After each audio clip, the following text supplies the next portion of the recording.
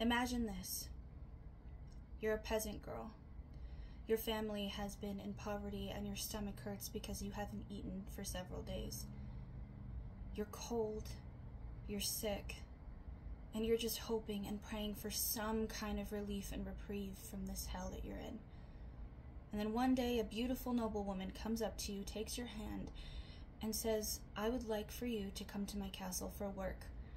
You get so excited because the potential of helping your family or getting food in your belly or just being off the street gives you some level of hope. But what you don't know is that you're trading one hell for another hell. Next thing you know, you're being locked up in a cellar and beaten to the edge of your life. You're wishing that you could just go back to the street, go back to being a peasant and get out of this hell, but you can't. Before you take your last breath, you look up and you see the person beating you is that noble woman who, for a few seconds, gave you hope that you were going to get out and be free. This is the story of Elizabeth Bathory, the Countess of Blood. She is one of the most prolific and scariest serial killers to ever exist in history. I have been listening to a lot of murder mysteries and a lot of crazy things lately, and so I dove into this rabbit hole of different um, prolific killers, and I stumbled onto Elizabeth Bathory. She has quite the killer count, even though nobody really knows how many people she's actually killed, but it's probably pretty high. Um, and then I started kind of really getting into female serial killers because some of the scariest serial killers to exist are female serial killers because, quite frankly, women like to cause a lot of destruction and a lot of pain. And this woman is not a stranger to that. So let's get into the story about the Countess of Blood. A little disclaimer this does talk about um, well, obviously, it talks about taking someone's life, it talks about beating people, um, and it is kind of dark and bloody. So if that's something that you don't want to watch, it's perfectly fine. Also, there is a lot of words in this story that I don't know how to say because a lot of this is in Hungary and Vienna. And so a lot of this I don't know how to say. I tried to Google some of the pronunciation, and even though they broke down how to properly say it, I couldn't say it. So I'm going to do my best just so you are aware. But Elizabeth Bathory was born around 1561 in, um, and this is one of those moments, Nye, Nybator, Hungary, and she grew up in Transylvania. Elizabeth actually comes from a pretty decently wealthy and powerful family already. Before she even gathered or got the title of Countess, she already had a pretty well established family name.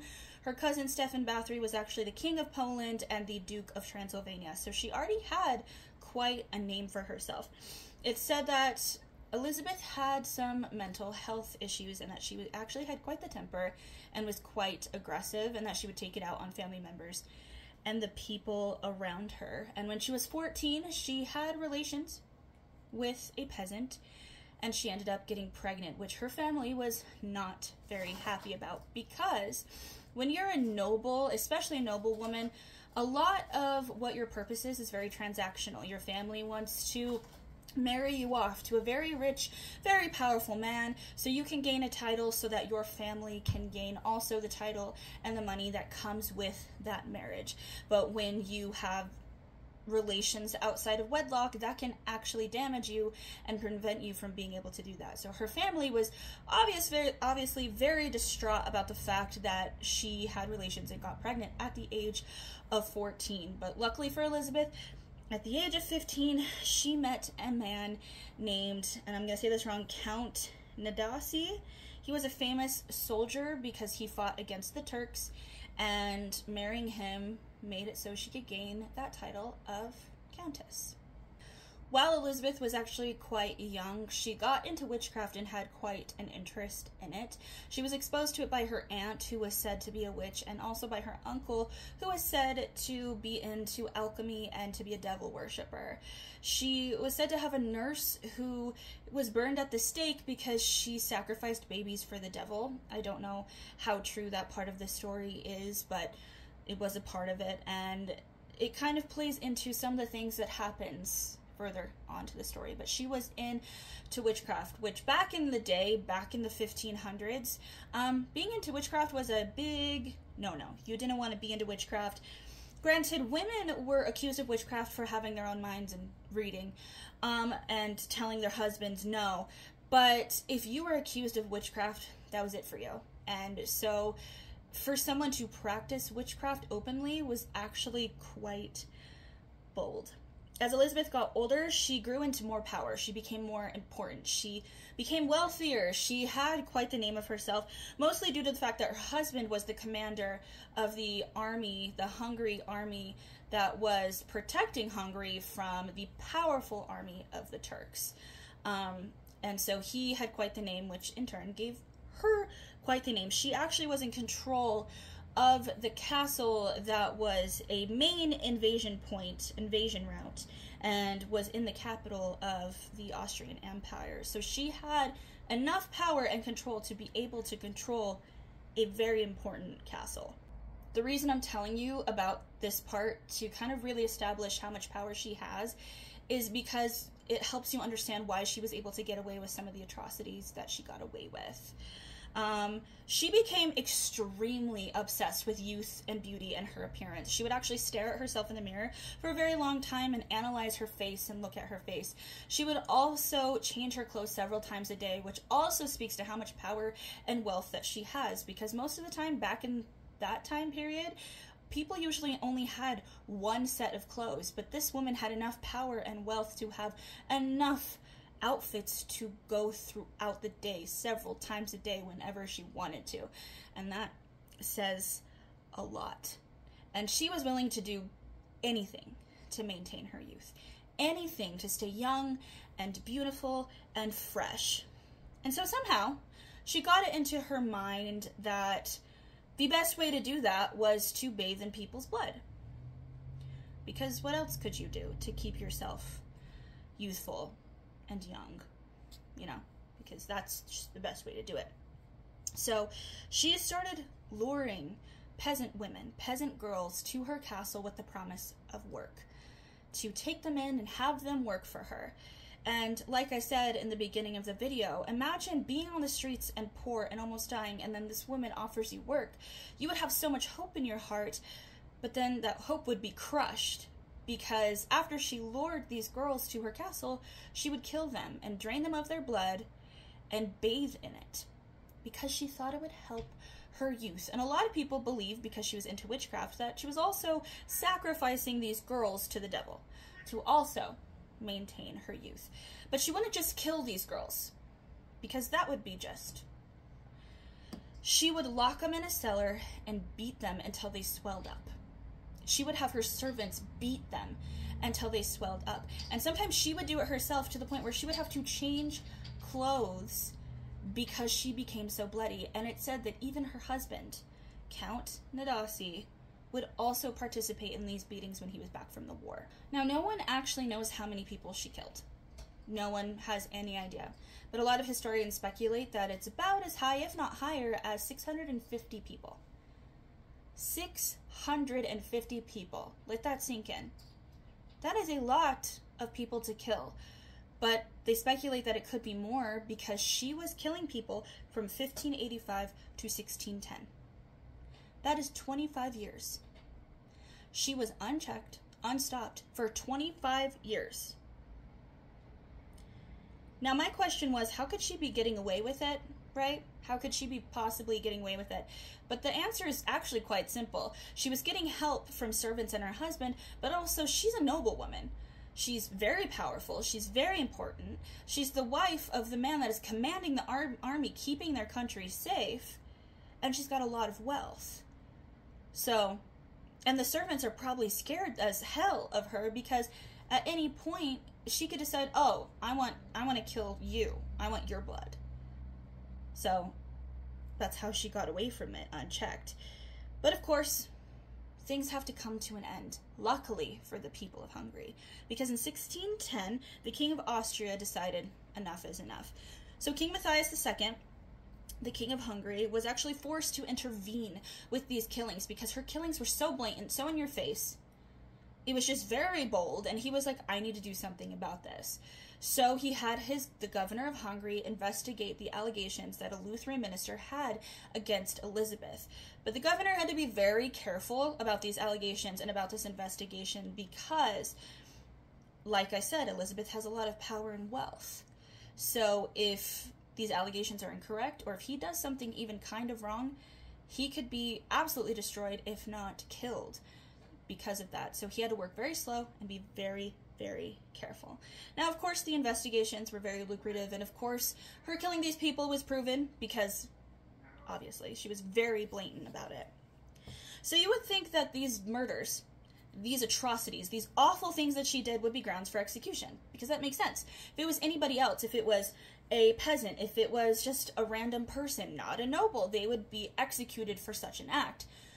But the government was afraid to execute Elizabeth because King Matthias had borrowed a large sum of money from her, and he knew that if he killed her, if he executed her, he would have to pay back every single penny and would be in debt to her, and he didn't want that. So, he decided to imprison her for life.